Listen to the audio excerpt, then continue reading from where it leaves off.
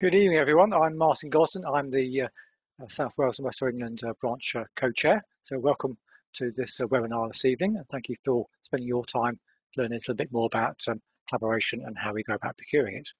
This is our seventh um, branch webinar event uh, today.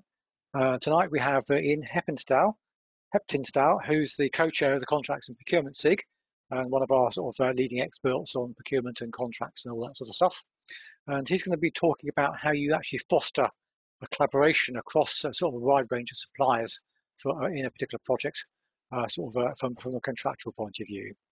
So Ian's planning some poll questions tonight, and there'll be some stuff on the screen you can see at the moment, which tells you how you can actually join in with the interactive part of, uh, of the event. So uh, Ian mentioned this again anyhow, but uh, if you've got a little bit of time now just to sort of link up either on a tablet or, or, or telephone, or however you want to do that uh, using those details on the on, on the on the screen. So well done for that.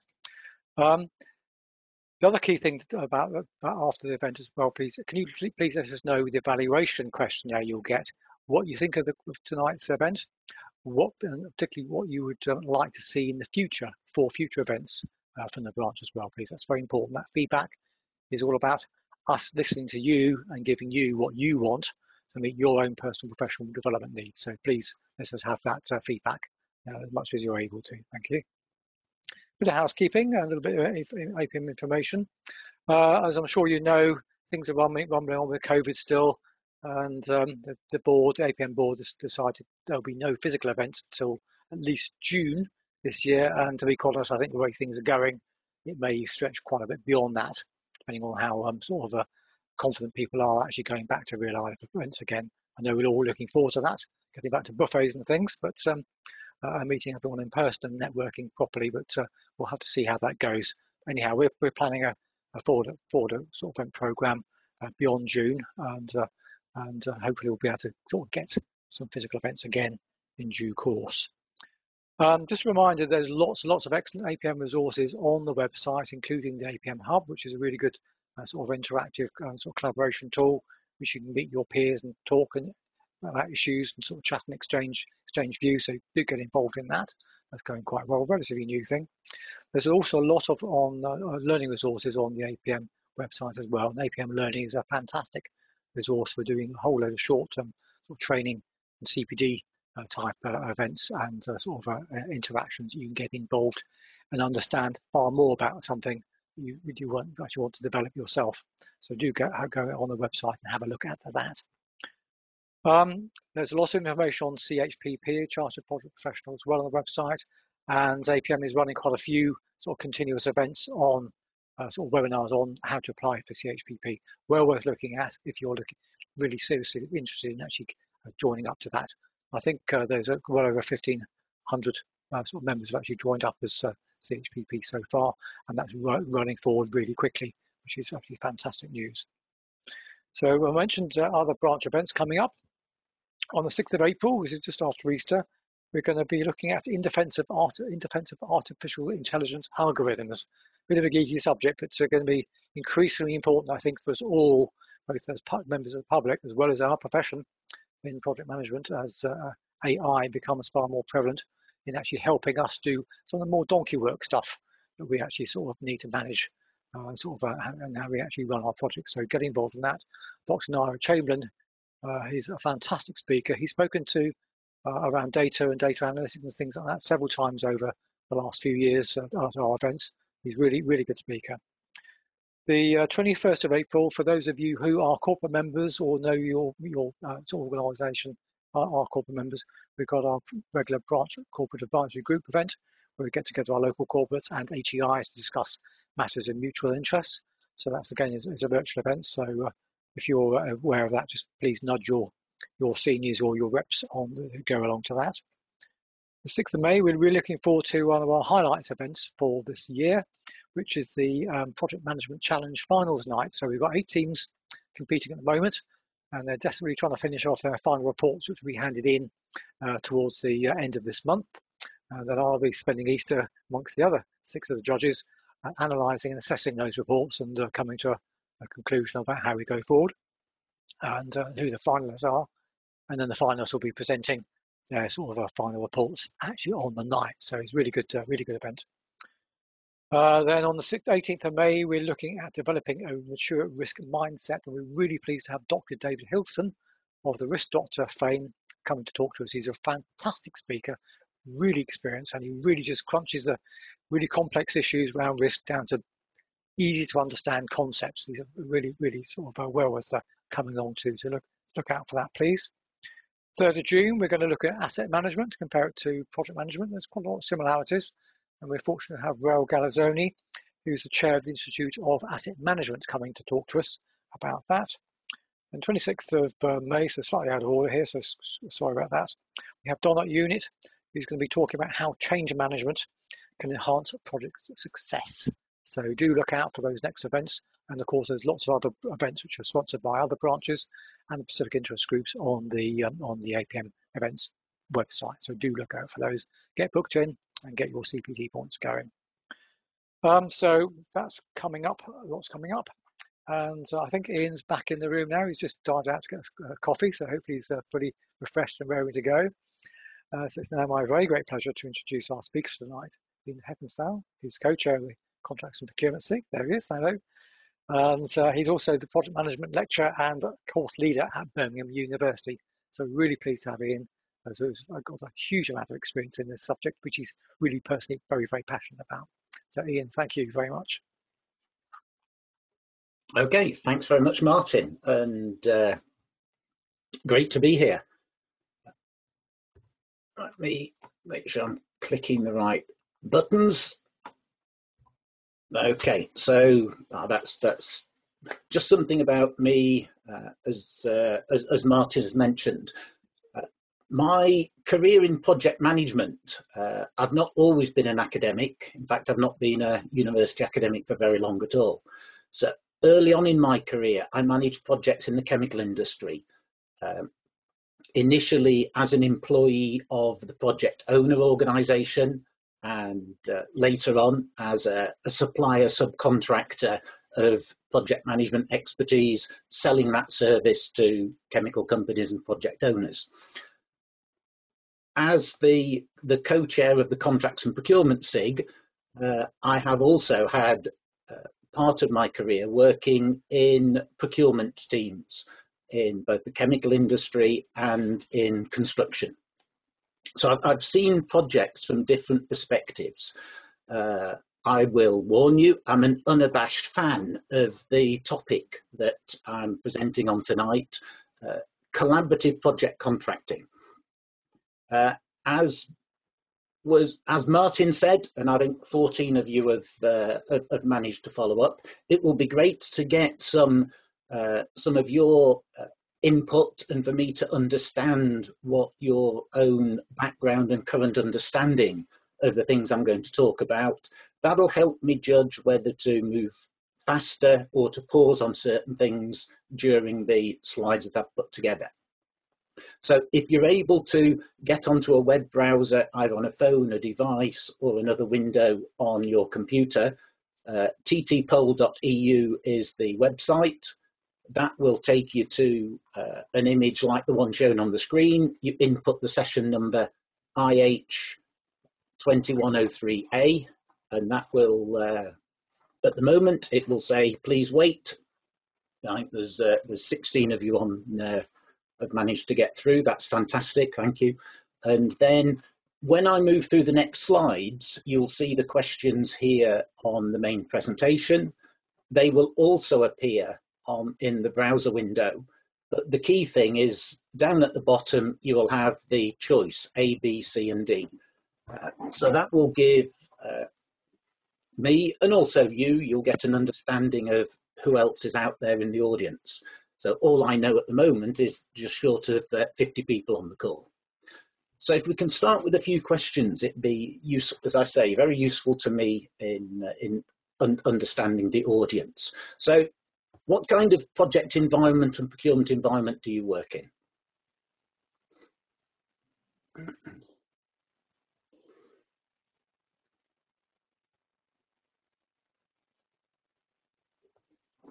about that.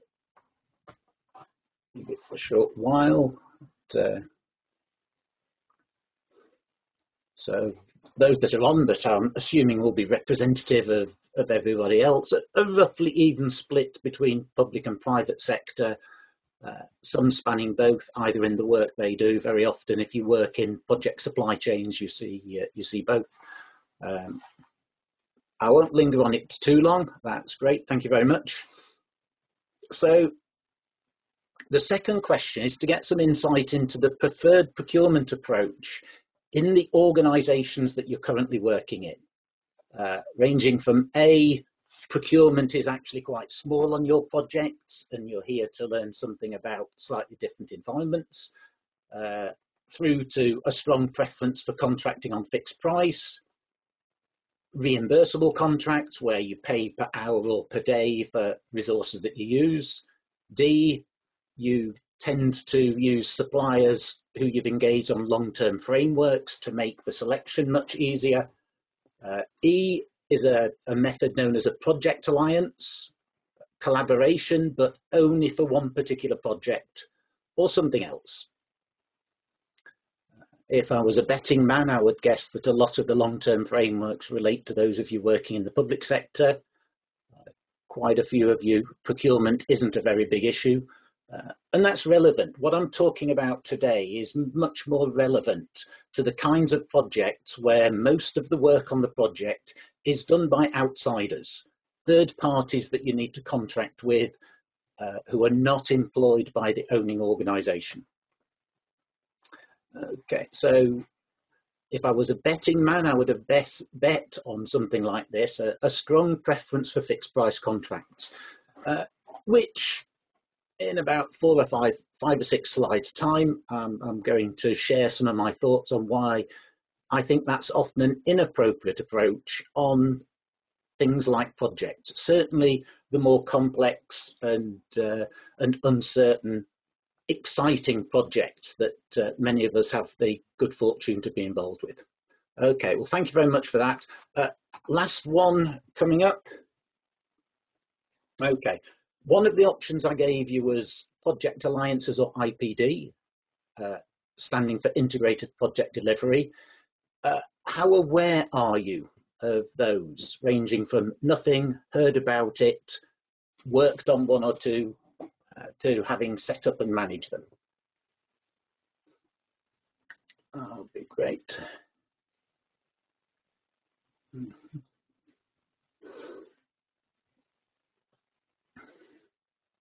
And this looks like a, a good mix as well, because I'd, I'd assumed that most people coming here were, were those who want to find something out about a topic that might sound interesting, but they hadn't used much. Uh, and I think the fact that some 17% of you have actually worked on one uh, will be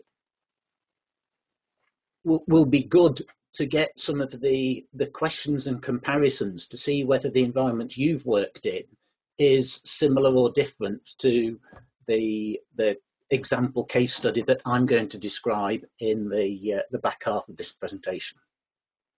Okay, so thank you very much for that. That was a bit of scene setting. Uh, the nearest you're getting on a very short one hour or so webinar to introduce yourself to your peers and colleagues who are here.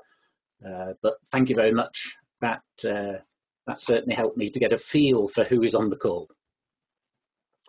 Right, I, I want to cover these uh, different areas in, in sort of moving through. Most of the time I want to spend on the last two bullet points, talking through the, the approach known as project alliancing or IPD. If you uh, if you're uh, used to working in a UK environment, uh, you may know the method as project alliancing. IPD, integrated project delivery, tends to be what it's called in uh, North America. And if you're involved in lean construction or lean project management, uh, they tend to prefer the term IPD. The way I define them, these two things are exactly the same.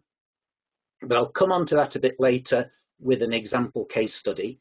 Uh, to start with, I just want to lead, lead in by sharing a few uh, general sort of ideas and principles about collaboration, competition versus collaboration from a procurement perspective, from a team management perspective and some of my thoughts on problems and difficulties with common contract pricing methods. So that's the shape I want to run through. Uh, got, got a few slides that I'll whiz through. If anyone's got any uh, questions or something isn't clear, please drop a note in the chat um, so that it's captured, you don't have to remember it, or make a make a reel or a mental note of it, and we'll pick that up in the Q&A towards the end. Okay, so firstly, procurement perspectives, the idea of, of, uh, of, of, the procurement professionals. Now, there's a, a thinking tool within procurement known as supply positioning or Kraljic analysis, which is demonstrated in this uh, colourful graphic, which is simply meant to indicate a, uh, a two-dimensional graph, uh, often referred to as four boxes, but I, the engineer in me prefers to think graphical, graphically. Along the bottom x-axis, we can think about spend. That's one of the key obvious variables when we think about procurement. How much are we spending? Is it a small amount, medium amount, or a lot of money? The other dimension that this takes account of is inherent risk in the supply market. How easy or difficult is it to work with the suppliers? And that's, that's an amalgam of a number of different uh, considerations that are rolled up into this idea of supply risk. It boils down to how painful will it be if we get our suppliers wrong and they let us down? Is it easy to swap to a different one or will it be extremely difficult? And depending where the supply markets you're dealing with fit on this little uh, little map, whether it's A, B, C, or D, will impact the kind of approaches you take to procurement and supplier relationship management. And if you choose the wrong methods in the wrong circumstances, that can lead to waste and increased risk. So this is a basic procurement tool that suggests the horses for courses collaboration tends to be more suitable uh, where I've put point C on this graph. The types of spend that are spend categories, supply markets, where you spend a lot of money, a long way along the x-axis, but also have got high supply risk. If you get the supplier wrong, the pain that it causes you can be quite significant. And projects when working with main contractors and design contractors and, and significant advisors will often find that that supply market to them is in area C, high risk, high spend, where general procurement theory suggests collaboration is probably the best way for you to drive value and performance. Uh, another way to look at that, if we look at the money we're spending on a particular with a particular supplier, with a particular supply base. And here I'm only looking at price being made up of the costs the supplier incurs and the margin, the profit margin they make on top of that. The methods of competition would tend to focus on the margin. You know, bidding, shopping around, using internet services that trawl everybody who's selling something and can sort them into order of price. There you're squeezing the margins. Collaboration is all about working together to look at cost side of the, the makeup of price and to see what we can do together to make sure that the costs that are being incurred are appropriate and not wasteful. So that's just one example of a very different mindset. Uh, I boil it down into two very simple mental images. If I'm using competition to manage value and performance, my analogy is a door. Suppliers will need to come in and out of that door. Just like we're in, in professional sports, the relegation from the Premiership to the Championship is what drives competition. If there's any rugby fans, there's talk at the moment as to whether uh, not to have promotion and relegation and the impact that that could have on the quality of the game and the levels of competition. But fundamentally at a human nature, the ability to enter into an area you've not worked with before, and the risk of getting kicked out if you don't perform is, is fundamental to the use of market competition. Nothing to do with just get five bids. If you always choose the same suppliers and you've not got some coming in and out of the door, nobody will believe you're really using market competition, no matter how many bids you get. On the left, for collaboration, my analogy is in the boat. The, the supplier and the customer are in the same boat. Either the boat sinks or it gets to the shore safely. But the, the impact on everybody is the same. Uh, it doesn't matter where the hole is, who, who it's underneath, water fills the boat and it goes to the bottom. So those are just my little uh, mental models that I use to test whether what somebody's telling me is competition or collaboration actually is. Um, there's a couple of uh, slides that I'll, I'll skip over just because this is a, a relatively short presentation. I want to leave some time later on for discussions. Uh, but moving on from procurement, intuitively uh, and behaviourally, a team where members are not inhibited to work together will in general deliver better results. There'll be fewer disagreements. It'll be more creative and innovative and less wasteful and more fun. So forgetting about procurement, purely from a team perspective, where the team members get on and have got aligned objectives that they can all work together and sign up to, that kind of team is more likely to succeed than one where you've got politics, hidden agendas, conflicting objectives. That's something intuitively that, that most of us have either experienced or can, can understand.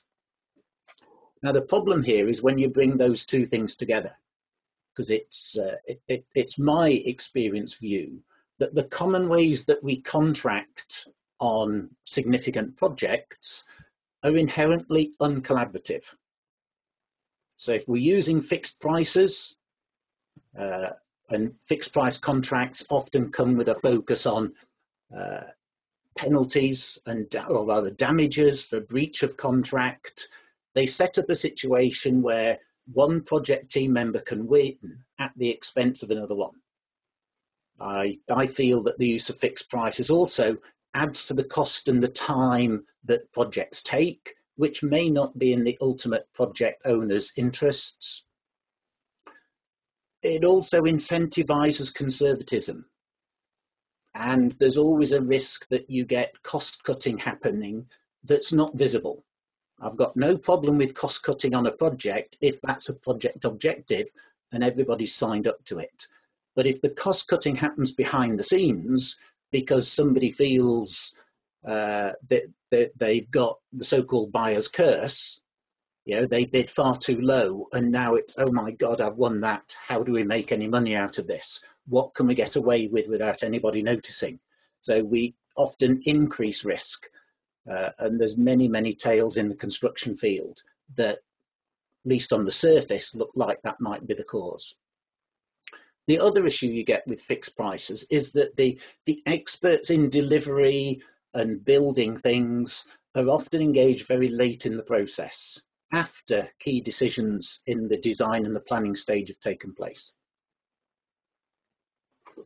Now, at the other extreme, if we purely decide to uh, reimburse a supplier on the basis of how much effort they've put in, that gives a commercial incentive to maximize the amount of effort And it penalises suppliers who come up with smart ideas to do the same thing with less effort and spending less money. So there, there, are some very strange and conflicting commercial incentives that underpin the sort of project environment where most of the work is bought in. And projects are hard enough anyway, even if everybody does work for the same organisation. Uh, when you add this layer of commercial tension over the top, it's uh, it's almost surprising that uh, that many projects succeed and hit their original objectives.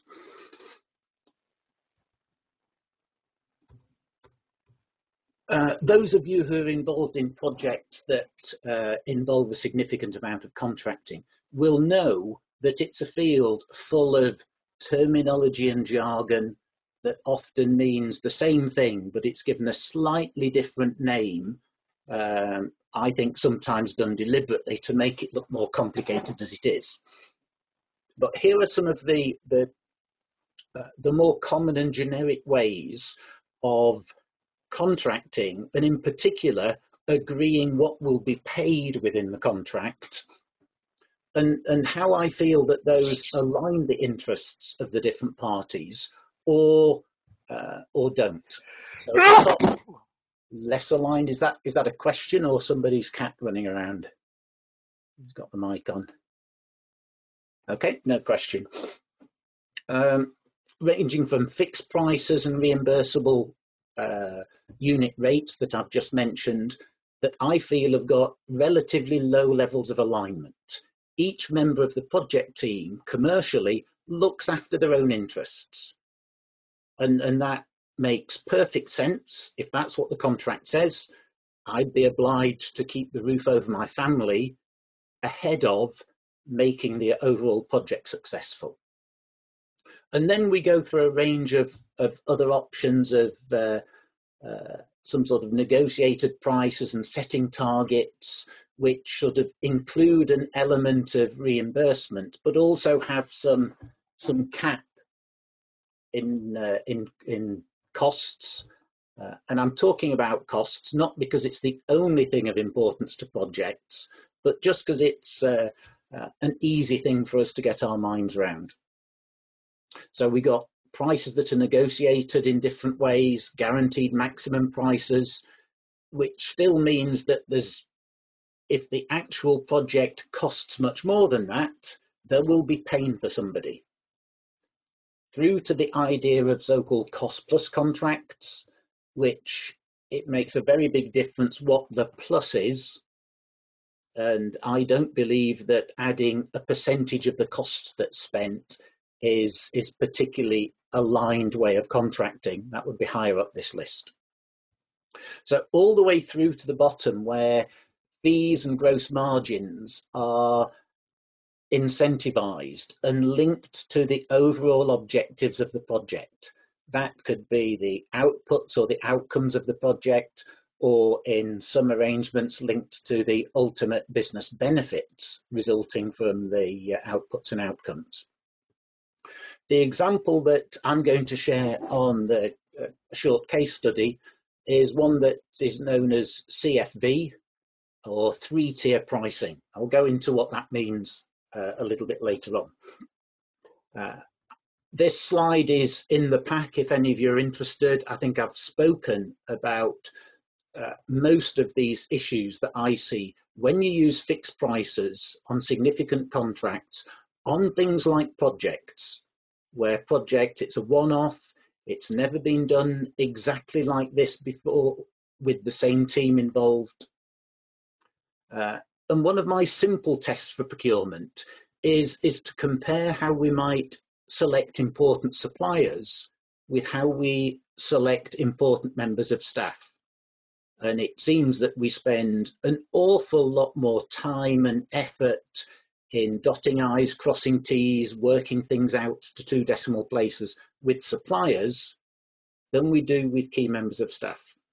With key members of staff, we accept the fact that there's some uncertainty, we look for certain key characteristics, and we realise that if the selection process takes too long and is too drawn out, the best candidates are not going to hang around for that long. And I think it's the same with suppliers. So I'll leave that uh, checklist in the slide pack. So the example I want to talk about is a project that used this Project Alliance or IPD methodology. And if you've not come across this approach to contracting on projects, uh, there's a, a simple analogy comparing on the left the more common approach where a client will contract with a single organization to sort everything out and deliver it, deliver the project. and they would tend to do that through a network of subcontractors and suppliers and sub-sub-suppliers. Uh, but the contract sorts it all out. The client's got this one-stop shop. They might have some trusted advisors, or they might have some advisors in the early stages that they then pass the responsibility for to the main contractor. So that's the comparison case. A project alliance has this sort of uh, salmony, orangey coloured uh, oval, which represents the project alliance team. And it's not a client and a single supplier, but it's a client and a small number of the the most appropriate suppliers who are experts in whatever the field the project is. So to compare it to the left-hand side, that might be the, org, the type of company who was the main contractor and three or four of the the biggest subcontractors, the, uh, the, the particular subject matter experts and expertise. From design, research, construction, whatever it is your project needs. They, of course, will have a supply network of their own, who they may contract with on a relatively uh, arm's length traditional basis. They might have some degree of shared risk and reward or variable payment based on how the supply network uh, carries out their own job.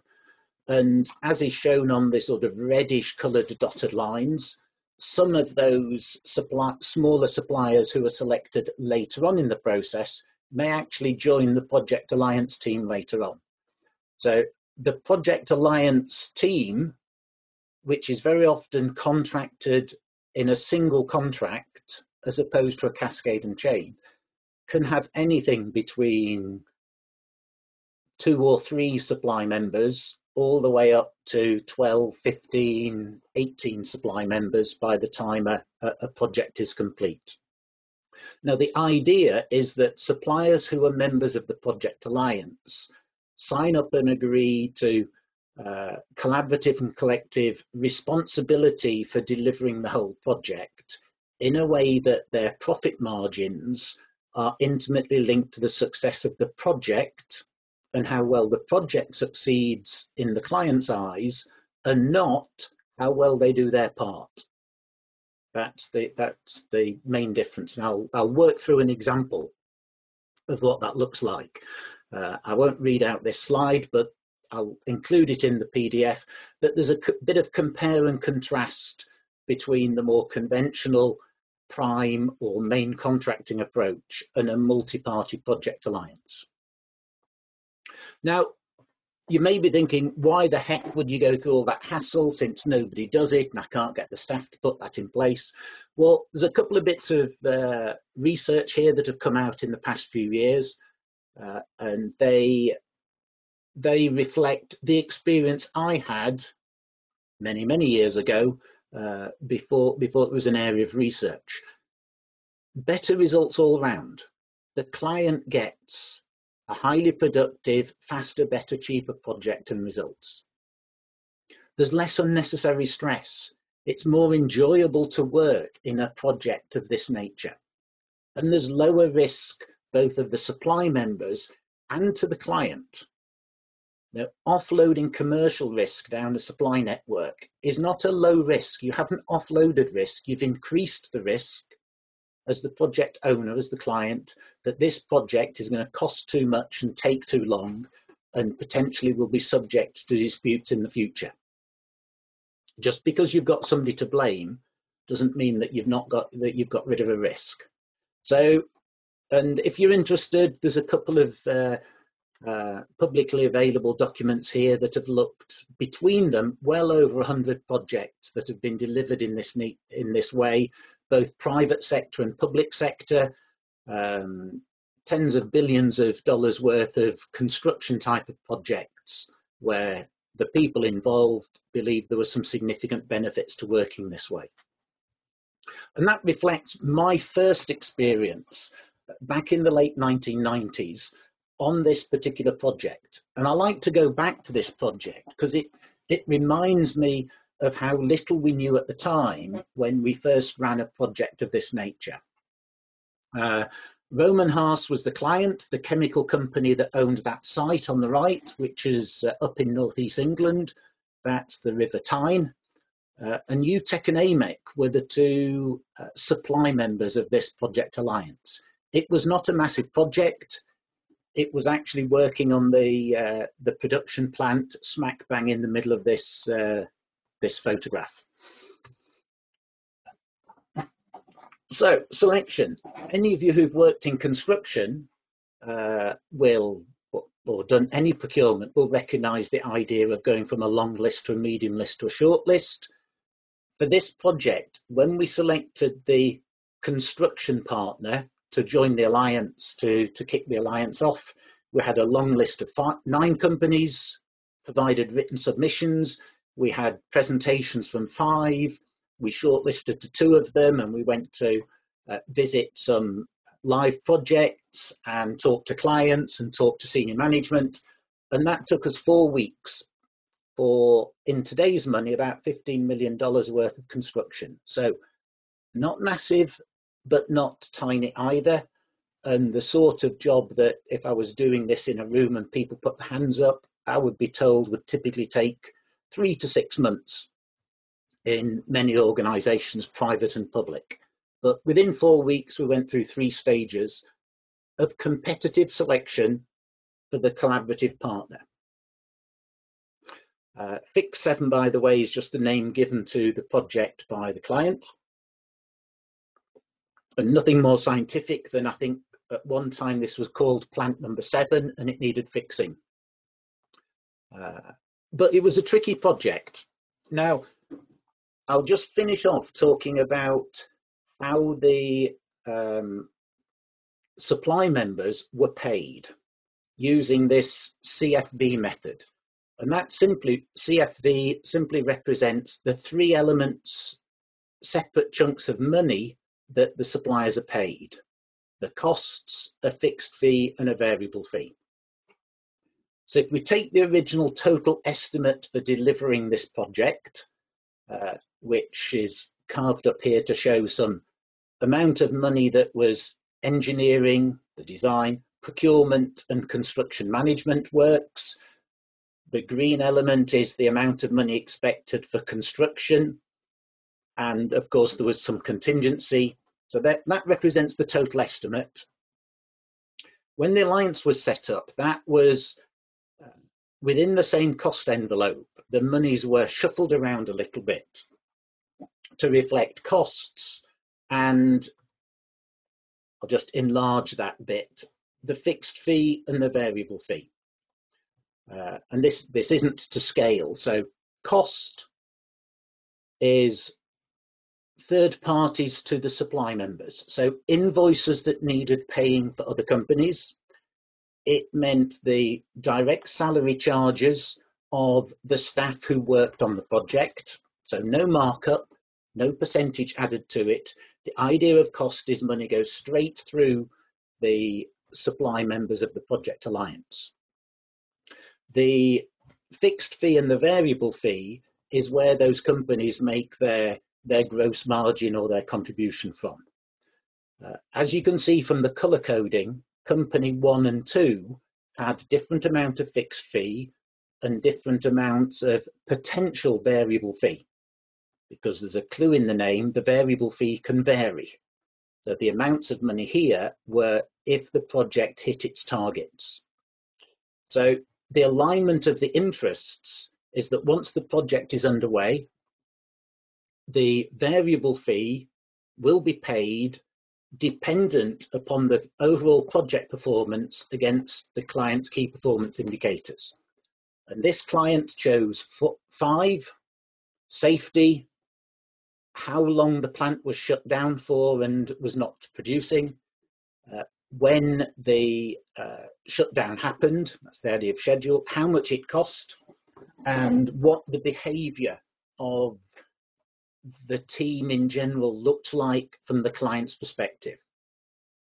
So, and at the time I worked for one of the suppliers. I, I led the uh, the contribution from uh, from UTEC. So once this project started to go through the execution stage. So detailed design was being carried out, detailed construction planning, and we moved to construction activity. The only way I could make more money for my company was dependent upon our achievement on these five KPIs. I didn't make any more money from an extra day of a piping designer, and I didn't lose any money for a day less of a piping designer. That was irrelevant. So just to work through what that looked like, each month the, the total agreed fixed fee was divided by 18 months and a fixed fee was paid, or same every single month. Easy, you don't need any fancy uh, cost engineering to work that out. The costs that were incurred were invoiced every single month. And those would be agreed project staff members at rates that basically reflected their salary, national insurance, uh, pension contributions, healthcare, car, whatever the individuals actually got. Nothing stayed within the company. So the client Rohm and Haas paid the monthly invoice. The money goes in effect straight out into the banks of the staff who worked on the project, the providers of the company car schemes, or third party invoices that needed paying.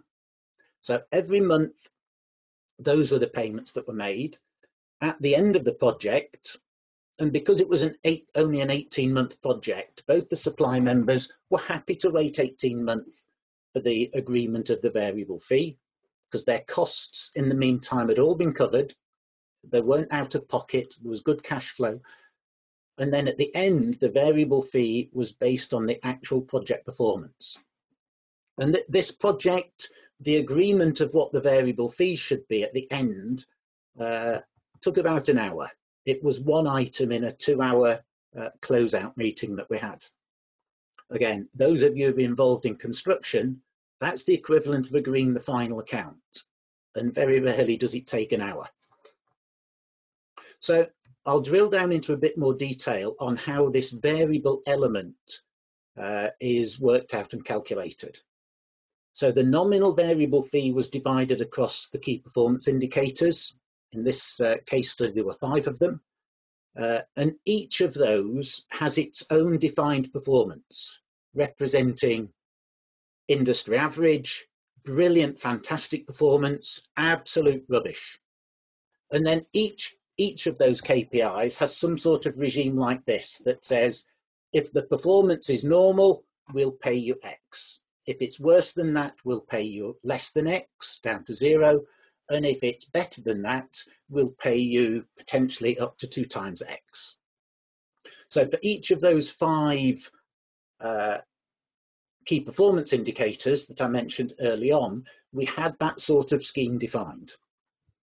Now, on this case study, the total variable fee, the nominal amount was 300,000, and it was basically two thirds of that related to company one's uh, profit at risk and 100,000, 30%, 33% to company two.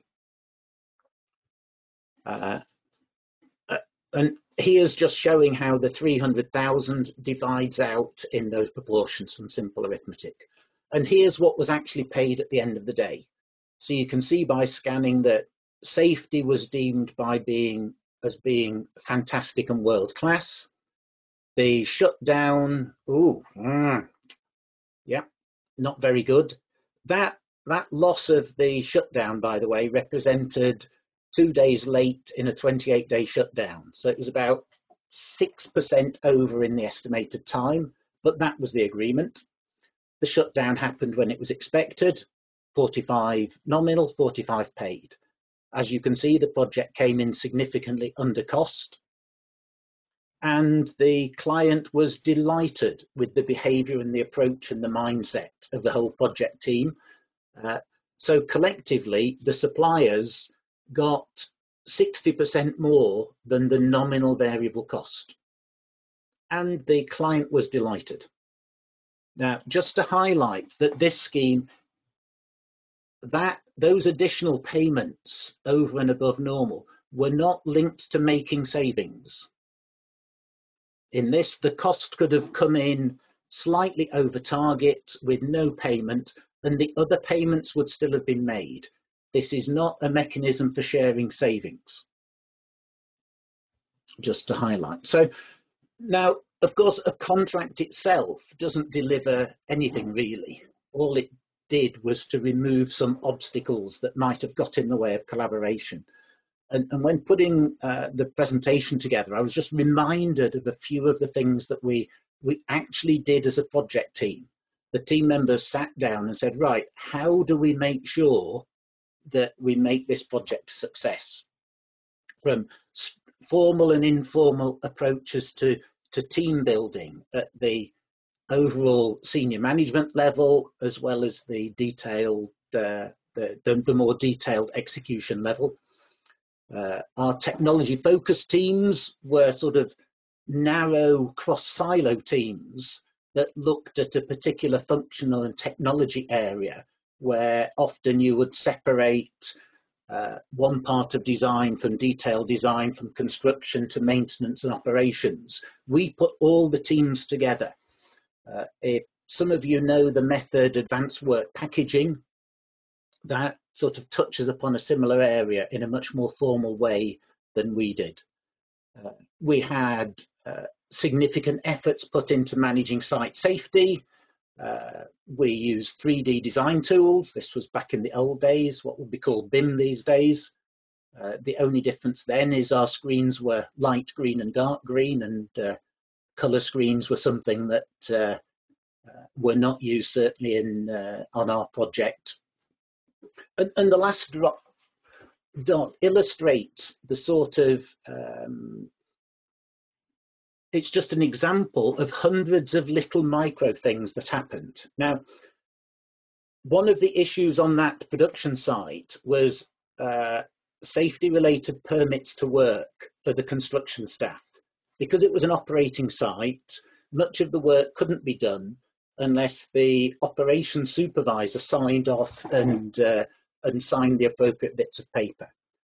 A previous project had overspent by about 35%, and most of that was because of delays in getting safety, safety permits issued every morning. So the contractors would come along, say, have you got the safety permits? The operation supervisor would say, no, I've been too busy. Okay, we'll come back at 10 o'clock. So they'd go off, they'd drink some tea, read the newspapers, have a chat, come back. And a lot of construction time and effort was wasted uh, because of that sort of lack of uh, coordination between the project, the construction teams, and site operations. We had a small amount of contingency because we knew that that might be an issue.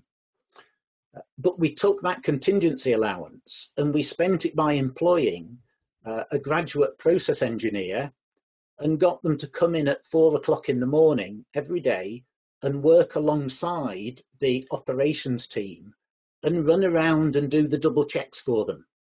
So although that process engineer couldn't sign off the safety permits, they in effect ensured that the person who could sign it off had all the answers they needed that morning, had everything in front of them. And that proactive activity, spending some contingency, which was in the part of the estimate the construction management company would normally spend, and the process engineer was employed by the uh, EPCM contractor, there was no formality to that. I met with Trevor in a corridor and, and we'd been thinking for a few days how we should reduce the risk of permit delays. We came up with the idea, I made a phone call, and we had somebody on site two days later. So there were, and that was nothing to do with the overarching contract. We decided what to spend the money on, and we got on and did it. So that's just an, uh, a simple example. So some of my takeaways from having worked quite a while back and since then supported a number of companies setting these things up. Uh, and th this is why I would take a project alliance as my default go-to approach to contracting on anything but the simplest projects. Uh, It's easier and faster to set up and manage than you think, providing you stop doing all the things that you've done historically to prevent commercial problems that you no longer need. So you need to remove those practices and procedures and workflows and sign offs that you would need when you contracted on a fixed price, but you no longer need. So if you just add project alliancing to workflows and practices and templates without changing them, all you'll do is you'll add another layer of complexity. Rip out the things you don't need, and my experience is alliances are a lot easier to contract and a lot easier to manage. If anyone tells me that a project alliance is a premium cost and costs you more, my initial reaction is it must be being done in a very strange and inefficient way. I would expect the cost target on an alliance to be noticeably less than a reliable collection of fixed price bids. And it's much more fun. Projects are hard enough without having to prat about worrying about contracts, in my view. Right, that's the presentation bit that I've put together. Um, looking through the chat, I don't think I can see any questions cropping up. Uh, has anybody got any? Can people manage their own mics uh, on this, Rob? If they want to ask a question, or can they type something in? Uh, yeah, good question there, Ian. So people are more than happy to submit their questions via their control panel. Um, some some of our guests have kindly done this already so I can I can read those out to you. Mm. Um, first off, there's been a, a, number of lovely comments to say thank you for taking the time to to share your knowledge, um, and some people have said, is it possible to reach out to you post session to find out more? Um, yeah, of course. Yeah, my uh, uh, have I got me? Oh, they're not on there. But yes, you can find me on LinkedIn. There's not many Heptinstalls there. Feed out. Uh, and, uh, Excellent. Well, thank you, Ian. Um, so I'll start with the questions as they come in. And uh, Marius from Mace has asked, if a subcontractor knows they have a more embedded position and collaborative relationship, how do you, as the main contractor, ensure you're continuing to receive competitive rates? Um, the idea of competitive rates, I'm, I'm less worried about. So uh, and, and, it, and it does depend. If, if I'm employing somebody as a sub subcontractor conventionally to a member of the project alliance, I do what I do today. Uh, but if I'm if I'm talking about the estimated cost of a project alliance member, and and and we're thinking, well, you're you're you're employing your engineers at, at hyped up rates, you're giving them too much money. Well, firstly, what's the motivation for doing that? Because in a conventional rate, it's not just the the money that gets paid to the the tradesman, the person doing the work. Uh, it's also the margin and the markup of the organisation. That's built in to most rates. In the CFV method, those are totally separate. So there is no commercial motivation for the supply member to to spend more on rates, the only way that they would increase the cost rates is if more money ended up in the pocket of the individual doing the work. Now, sometimes there's a good reason for employing somebody who's more expensive, and sometimes it's wasteful. What, what I find on a project alliance is that in a conventional main sub subbies network, if if one of the subcontractors or sub subcontractors is is yeah, playing a game and getting away with something, well, normally some people around them know it's happening, but they won't grass them up to the main contractor or the client. The the the rule of the game is it's for the main contractor to catch them out. So in effect, you've got you've got one pair of eyes looking for somebody who's either being too lazy, is employing far too many people just to keep them busy. With a project alliance, that sort of behaviour is not only going to hit the main contractor or the client, it's going to hit the other alliance members. So, from a, a risk that people are playing games and messing about, you've got many more different organisations keeping an eye on that because in, in rates, conventional rates, as I said, have got margin built into them. They're a mechanism for companies to recover margin the CFV method doesn't have that sort of conventional rate. All you're paying in cost terms is what ends up in the bank of the individual or to the pension provider. So it's slightly different. Then the discussion is, do we want person who demands a higher salary or a lower salary? And ultimately the project team can make a, a quality-based decision because there's no right answer to that you don't get better projects just by having cheaper people. Yeah. Excellent.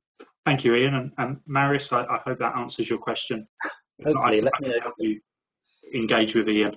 Um, yeah. So there's again some great comments coming through. Uh, Daniel has started by saying, "Very enjoyable presentation. Thank you." How do you avoid the client taking advantage of the IPD by possibly suggesting or manipulating the outcomes, suggesting they aren't successful as they are, and thus true profits potentially not being achieved by the supply chain? Uh, that that's a good question because in in the whole area of performance related payment, that's probably the most common and the biggest risk that crops up. You know, people sign up to something and then renege on the deal later on. Uh, firstly, being reasonably clear about how performance will be measured. Not over precise, because you can tie yourself up in knots if you're not careful.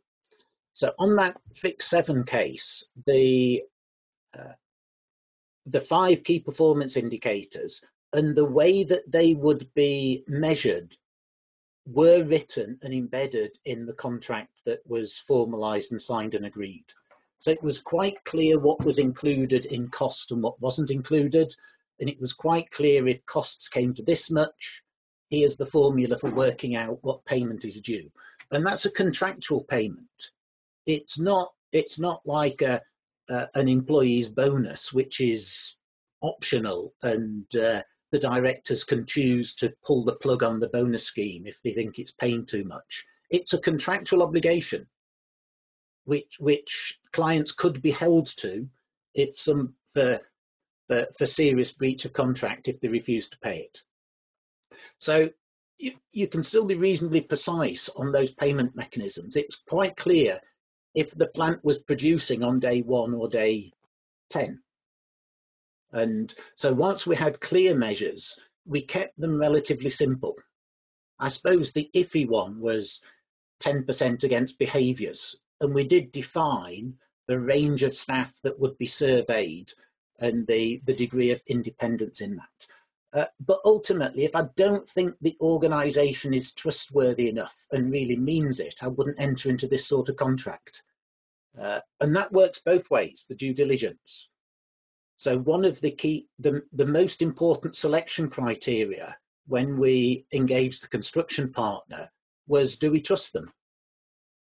And that was done talking to the person who would be their contract manager and the directors back at head office. We needed to feel that there was enough faith and confidence and trust. Excellent, thank you, Ian. Now, I'm, I'm aware of the time and uh, I'm also aware that I'm in a room full of project management professionals and, and time and keeping to deadlines is important, but I'm, I'm also... Business I'm also, more important than our time estimate. If there's, yes. benefit, if I, there's benefit to people. Yes, then... I'm also a cheeky host, so I'm gonna I'm gonna try and get one more question in. Um, yep. Michael has asked, what does a typical CFV agreement look like? Maybe you could refer us to your preferred format or somewhere to get additional information. Okay, yeah, I can uh, I can let people know that there's a couple of model forms that exist around the world, and the the NEC4 has recently produced one, but I don't know that intimately. Uh, I personally prefer a bespoke agreement that builds from sort of flip charts around a wall amongst the leadership team, and then the so-called boilerplate gets added on later because that builds on the important relationships and the testing of trust and add the other stuff on. Uh, starting with some boilerplate with gaps in that you write in the the, the missing words uh, can make it become back office, but around the world there are some quite reasonable uh, model forms that could be used. But I'd still start with a flip chart to work out the obligations but then giving it to the contract drafters, I don't really care whether they take a model form and squeeze the flip charts into the model form. But, but what surprised me the first time I did it was how easy and fast it was for a well-briefed legal team to write a bespoke contract that we signed. It, I have tried to do an alliance by modifying the IChemE Green Book once, and that took much longer. That was a real pain and the problem is, it's so tortuous to read that if if a key member of one of the alliance partners joined the project a bit later on, they're not going to sit and read it. But if if you can have something that's in a readable form and somebody can get their mind around their obligations, I think that's better from risk than something like, uh, and I hope I've not got too, not, not offending too many NEC fans out there, but yeah, I know contracts and I know procurement. But I can't get my mind around NEC where the first page says the project program is the project program. Just one of them's got capital letters. That what what what director of a key subcontractor is going to wade through two pages of yeah the project manager is the project manager well, I, I, can assure you, Ian, that no one from the NEC world has uh, commented to to attack uh, you and your comments there. So that's that's really good. So I'm gonna I'm gonna welcome back Martin, um, okay. co-chair of the APM SWE branch at this point. But as um, the APM branches manager, I would personally like to say thank you to, to Ian for giving up your time and your expertise this evening for tonight's webinar. Um, I'd also encourage everyone to go and look at the APM web, website and have a look at the future contracts and procurement SIG events coming up. Uh, so, Ian, thank you. Okay. And, uh, and, and thank you for me, Ian, very much indeed. A really interesting sort of uh, gallop through. As part of my background is with defence and uh, working on sort of contracts and procurements for many years. I've worked on things similar to this, but under an alliance type approach to risk management, but uh, using conventional contracts, which can work very well as well with risk sharing. But uh, I think what you're doing is far, far, far in advance what I've been doing in the past. but, uh, really enlightening, and thank you very much for sharing your experience. That's really valuable, actually. That uh, sharing what you've done and making it real for people, and uh, some real lessons can come out of that, and some real sort of uh, professional development can go on with our with, with our with our members who've joined us this evening. So yeah. thank you once all once again, and thank you, uh, Rob, for sort of managing us extremely well as usual. uh, we're on the expertise of making sure the technology works. And uh, have, a, have a good evening, everyone. And please remember to let us have your feedback on the evaluation survey when it comes out to you uh, when, in the next two or three days. Thank you very much indeed.